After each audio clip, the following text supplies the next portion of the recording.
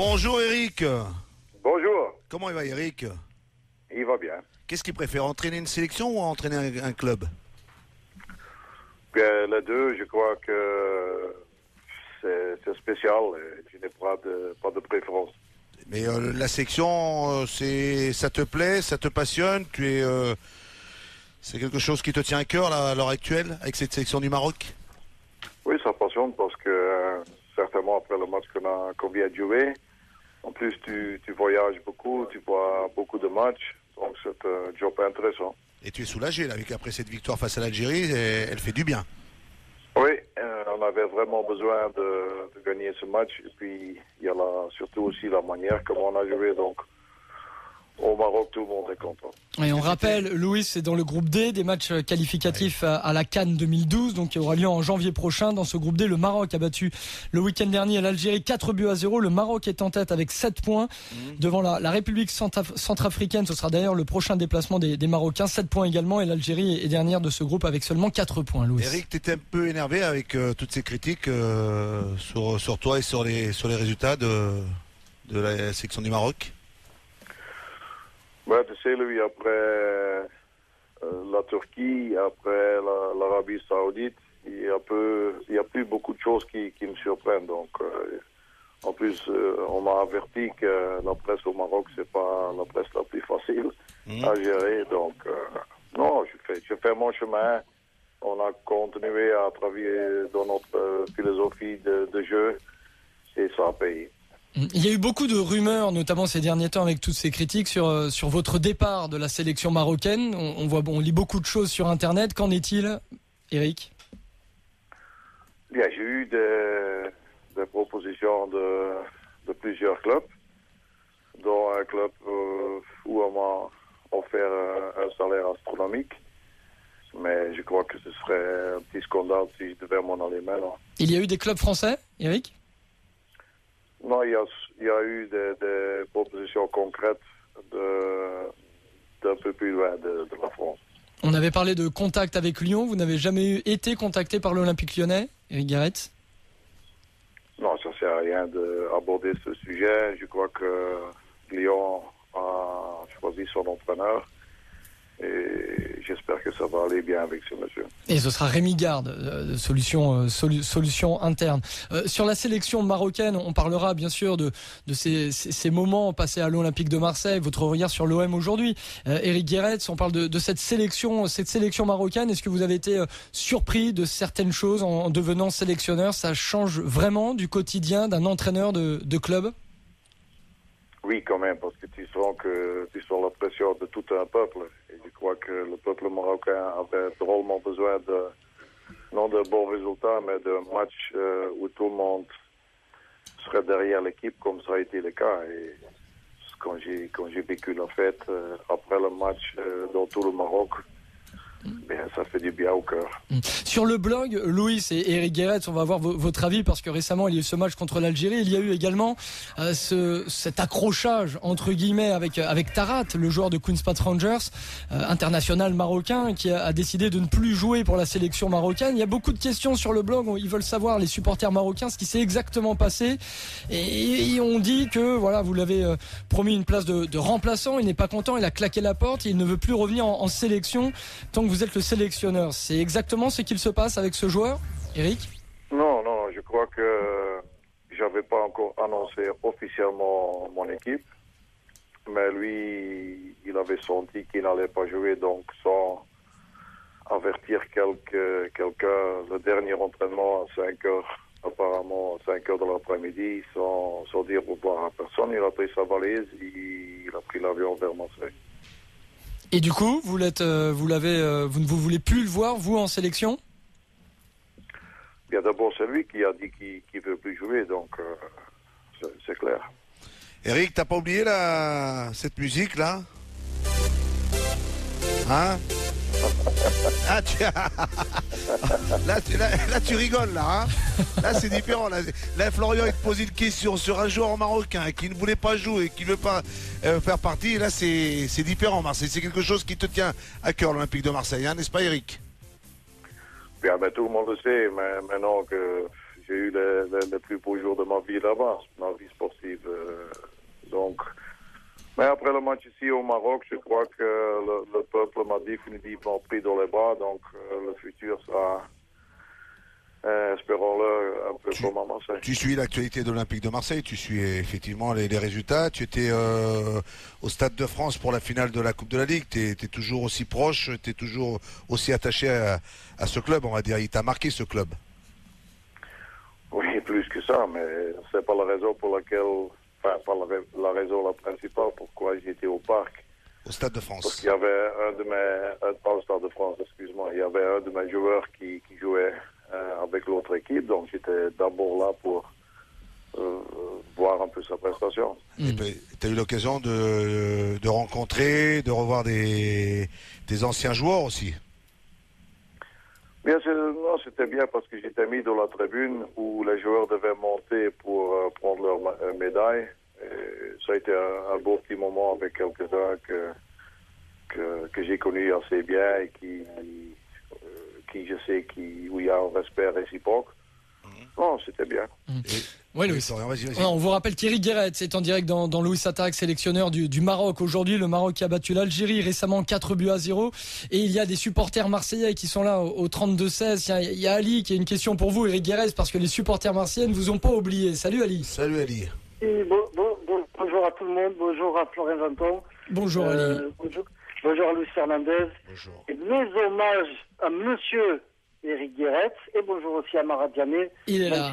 joueur du PSG. joueur du PSG. C'est un Ivoirien, alors ça va, j'aime bien. Alors vas-y, Ali. Eric Guéret, c'est là pour ta question. Bonjour, Monsieur, Monsieur Guéret. Euh, on sait, euh, la presse a relaté qu'il y avait eu un petit incident euh, minime. mais qui peut avoir son importance. c'est vrai que vous êtes proche des joueurs de l'OM, comme le disait Luis Fernandez. Est-ce que ce petit, ce petit incident qui a agacé euh, euh, notre entraîneur actuel, le fait que vous soyez un peu proche des joueurs, est-ce que ça rompt définitivement vos relations ou est-ce que vous pourriez éventuellement, je ne sais pas, peut-être proposer, aider, par exemple, un joueur comme Moussama Saïdi qui est étincelant, peut-être le proposer à l'OM voilà, Est-ce que vous avez des réseaux encore ou est-ce que c'est fini? Moi, je suis entraîneur, je ne peux, pas, je peux pas faire le travail d'un agent.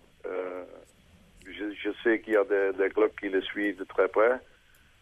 Et je crois qu'il a montré dans le match qu'il est capable de jouer dans, une équipe de, top européenne, à coup sûr, parce qu'il va encore euh, s'améliorer, parce qu'il est encore très jeune. Euh, en ce qui concerne euh, Deschamps, moi, vous, savez, je n'ai rien contre personne. Je n'ai pas très très bien compris qu'il s'est énervé parce que j'étais dans le dans le sixième bus euh, qui, qui m'a pris avec avec eux pour me pour me mettre à l'hôtel. Mhm. Donc il y a des choses qui surprennent et, et, qui sont qui sont ben, un peu idiots quoi. T'as été surpris par euh, sa réaction? Ben j'ai pas compris. C'est c'est un peu drôle quand même. Ça aurait été l'inverse, t'aurais apprécié toi Eric? Bah, Si c'était l'inverse, il aurait pu venir avec, avec le bus des joueurs même. Ah, vous, vous, auriez accepté qu'il le fasse. Didier Deschamps aujourd'hui a prolongé son contrat. C'est une bonne nouvelle pour euh, l'Olympique de Marseille, pour les amoureux de l'OM. Eric Guéret, selon vous? Bien, je, l'espère. Vous n'en êtes pas sûr? Non, je n'ai pas dit ça. J'ai dit je l'espère pour supporter de l'OM. Hmm. Qu'est-ce que vous pensez de la, des, résultats de Didier Deschamps à la tête de l'Olympique de Marseille? Ben, Incontestablement, cette année, il a fait aussi bien que moi la deuxième année. On était, on était deuxième. Par contre, euh, il a fait un beau parcours dans la Champions League. Il a gagné deux fois la Coupe de la Ligue, donc euh, pas mal. Mm. Il a, pris le temps de la, de la réflexion avant de, avant de prolonger. Est-ce que vous êtes toujours en, en contact avec des, des, dirigeants marseillais? Qui sont revenus vers vous pour euh, prendre un petit peu la température, entre guillemets? Non. Pas, du tout? Revenir un jour à Marseille, est-ce que c'est quelque chose que, que l'on peut programmer, Eric, ou pas, pour toi? Comme supporter de l'OM, à coup sûr, oui. Comme entraîneur, ce sera peut-être un peu plus compliqué parce que j'ai un contrat de, de trois ans que je vais essayer de respecter. Et puis, tu sais, dans, mon métier, il vaut mieux pas programmer ce que tu vas faire dans trois ans. Est-ce que quand tu regardes aujourd'hui l'actualité de Marseille et que c'est pas mal de à la tête du club, c'était un peu lorsque tu étais avec un Pape Diouf comme président, aujourd'hui un Dacier qui n'est plus peut-être un, président qui a les pleins pouvoirs. Est-ce que pour Marseille, est-ce qu'on a besoin d'avoir un président un peu à l'image d'un Pape Diouf pour vraiment que le club soit bien stable? Connais pas M. Dacier, donc euh, je ne sais pas exactement ce qui se passe. Je peux seulement vous dire que Pape, euh, pour moi, c'était un dirigeant exemplaire. quoi. Il y a également une organisation qui est particulière à Marseille, Eric Guéret, c'est ce qu'on lit aujourd'hui à droite et à gauche. C'est ce que vous aviez ressenti durant votre passage avec euh, la présence de, José Anigo et, celle de, de Pape Diouf à l'époque? Avec euh, José et Pape, euh, on était un trio remarquable. On n'a pas eu. enfin, j'ai eu un problème avec Pape une fois dans la vestiaire.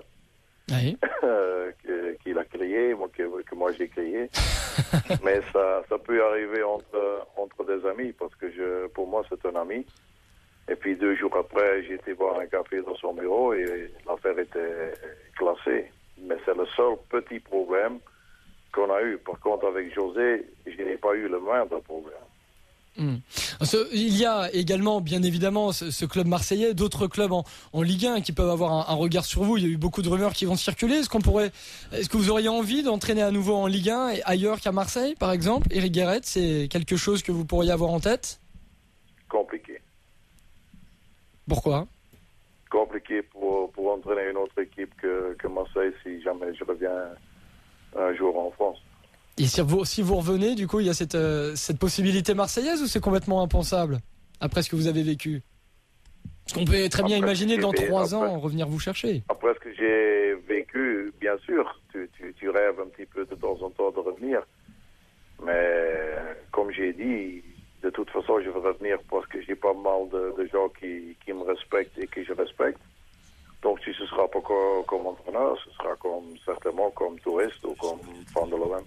Et tu, Florian, on sent que, que, que pour, pour Eric, euh, que Marseille, ça l'a, ça l'a marqué. C'est sûr que revenir un jour et, à Marseille, pourquoi pas après trois ans ou peut-être avant, on sait jamais ce qui peut se passer dans le monde du football pour revenir. Il est parti de Marseille sans gagner un titre et ça, c'est quand même un manque pour toi, Eric aussi c'est un manque, c'est surtout dommage pour, pour les supporters que j'ai pas pu offrir ce titre euh, à ces gens-là parce que, comme, comme, tout le monde sait, ça m'a marqué. Le fait quand je devais chercher mes billets avant, avant le match, il y a peut-être 50 euh, supporters de, de Marseille qui m'ont accompagné pour chercher mes billets. Donc des choses comme ça, ça n'arrive pas dans un autre club. Mm. Et pas d'autres euh, pas d'autres possibilités de vous voir entraîner ailleurs en, Ligue 1 et dans d'autres championnats? Euh, aujourd'hui, vous êtes à la tête de la sélection marocaine, un contrat que vous avez dit qu'il faut qu'il faut honorer. Mais est-ce que vous avez encore des envies en tant qu'entraîneur de découvrir euh, la Liga, par exemple, le championnat anglais, le championnat italien ou d'autres sélections? Est-ce que vous avez des rêves comme cela, outre le rêve de retrouver Marseille? Bah, J'ai le rêve de, me qualifier pour la CAN. C'est le rêve le plus important. Tout le reste c'est pas important pour le moment, puisque je vous dis, j'ai dû donner ma réponse hier sur une proposition astronomique euh, à Dubaï. Mhm. Je ne l'ai pas fait parce que je ne peux pas trahir les gens ici en ce moment qui ont une telle confiance en moi. Eric, et le vrai patron de Marseille, c'est Vincent Labrune ou pas pour toi? Comment? Est-ce que pour toi, le vrai patron de Marseille, c'est Vincent Labrune? Vincent Labrune. Je je ne saurais pas. ah bon il y a une femme, il y a une femme avec des cheveux blancs qui a, à mon avis, le patron, non? Margarita Louis Dreyfus, en tout cas sur le blog louisattaque.rmc.fr. Toujours le bon sens de la formule pour Eric. Hein. Les supporters marocains vous, vous, vous adorent, très clairement. Les supporters marseillais vous adorent. Les passionnés de foot également. Il y avait beaucoup de questions. On a essayé d'en poser un, un, maximum concernant votre relation avec euh, l'Olympique de Marseille, cette histoire avec euh, Didier Deschamps, votre regard sur le travail de, de Didier Deschamps et cette musique vous pourrez la mettre euh, pour le prochain match à domicile du Maroc, Eric Garrett. Non, non, c'est une musique qui restera à Marseille. Merci Eric, à bientôt. bonne continuation, bonne chance. ciao. ciao. ciao